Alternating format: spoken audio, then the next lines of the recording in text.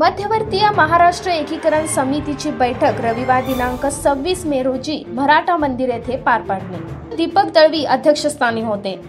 लोकसभा निवडणुकीत महाराष्ट्र एकीकरण समितीने उमेदवार उभे केल्यानंतर मराठी भाषिकांनी भरघोस मते देऊन आपला बाणा दाखवून दिला आहे.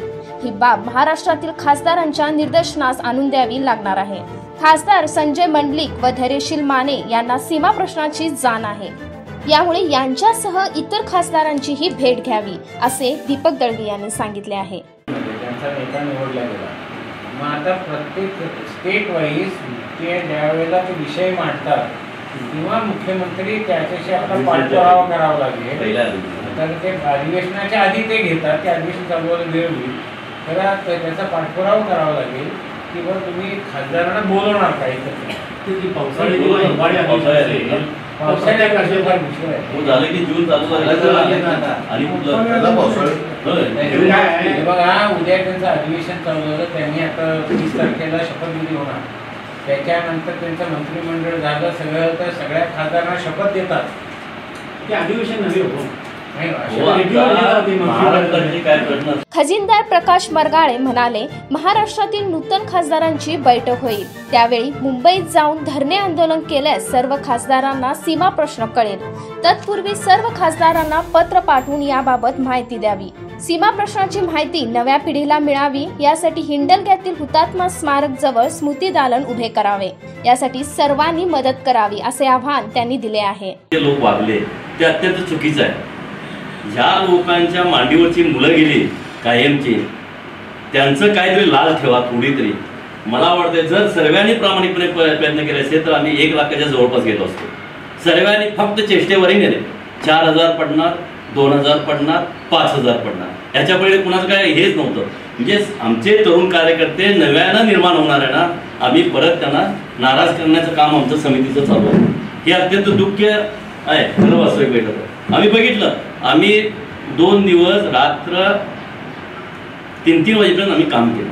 एकही माजी आमदार अरविंद पाटील यांनी महाराष्ट्रातील नूतन खासदारांना पत्र पाठविताना सीमा प्रश्नाची पूर्ण माहिती मिळवण्यासाठी पुस्तिकाही पाठवून द्यावी. तसेच मुख्यमंत्री देवेंद्र फडणवीस यांची भेट घेऊन सीमा प्रश्नी पंतप्रधान नरेंद्र मोदी यांची भेट मिळवण्यासाठी प्रयत्न करावेत अशी सूचना त्यांनी दिली. विनंती या ठिकाणी आहे. आणि दर सालाबद्दप्रमाणे जेव्हा घटक समित्या ज्या ज्या आपल्या आपल्या तालुक्यातून त्या ठिकाणी जास्तीत जास्त उपस्थिती दाखवून आम्ही सगळेजण त्या ठिकाणी हजर राहणं फार गरजेचं आहे. ते आम्ही सगळेजण हजर राहूया. आणि मगाशी मिरजकडे म्हटल्याप्रमाणे माझ्या माहितीप्रमाणे चौदा तारखेला महाराष्ट्राचं विधानसभेचं अधिवेशन आहे. कारण मी दिवशी खोत म्हणजे सदाभाऊ खोत यांच्याकडे गेलो होतो. मी त्यांना एक निवेदन दिलं की तुमच्या वतीनं तुम्ही त्या ठिकाणी प्रश्न मांडा. कारण आमच्या भागातल्या काजूचं उत्पन्न मोठ्या प्रमाणात आहे. त्याला लागून असलेल्या आमच्या केनेकर साहेबांच्या ग- बेळवटी आणि ह्या सगळ्या त्याच्यात तुम्ही पश्चिम भागामध्ये ते नोंद करून दिलं. कारण कसं झालंय तिथं काजूवरतीच अवलंबून असलेले आमचे सगळे शेतकरी आणि त्यांचं काय झालं गेल्या दोन वर्षात तिथल्या महाराष्ट्रातल्या काही दलालांनी काजू घेऊन त्यांच्या जवळ कोटी दोन कोटीच्या जवळपास पैसे येणं बाकी शिल्लक आहे. म्हणून त्याच्याबद्दल त्यांना सुद्धा माहिती दिली. त्यांनी म्हटलं की नावानुसार त्यांना द्या.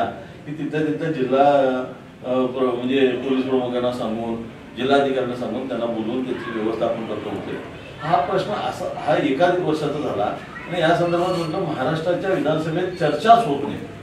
आम्ही जेव्हा इथं सांगितलं त्यावेळेस तेवढीच एखादं दुसरा कोणतं चर्चा करतोय. स्वर्गीय नरसिंह गुरुनाथराव पाटील हे दर अधिवेशनामध्ये सीमा प्रश्नाची बाजू मांडायचे सांगायचे. तशा पद्धतीनं बाजू मांडणं फार गरजेचं आहे. तेव्हा आता सांगितल्याप्रमाणे सगळे जे खासदार आता आलेले नवोदित खासदार आहेत आमच्याच मुलांना केंद्र सभेने सांगितल्यानंतर माहिती नाही तेव्हा त्यांना काय असणार? तेव्हा ही माहिती गोळा करून सांगणं गरजेचं आहे. आनंदाच्याकडे ती माहिती संपूर्ण त्यांच्या याच्यामध्ये डाटामध्ये त्यांनी केली त्याची कॉपी मला एक त्यांनी दिल्या होती ज्यावेळेला सुप्रिया सुळेता इथं आल्या होत्या त्यांना त्या कॉप्या दिल्या होत्या. त्या पाच सहा कॉप्या आहेत. तेव्हा त्या सगळ्या करून आणि अभिनंदनाचं मध्यवर्तीचं जे पत्र आहे त्या पत्राबरोबर ते अटॅच करून दिलं. तर अनायसे त्यांच्यापर्यंत माहिती Thank you.